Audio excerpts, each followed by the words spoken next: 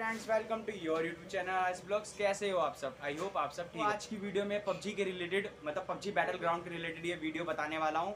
और इसमें दो न्यूज़ है एक गुड न्यूज़ है एक बैड न्यूज़ है। तो है।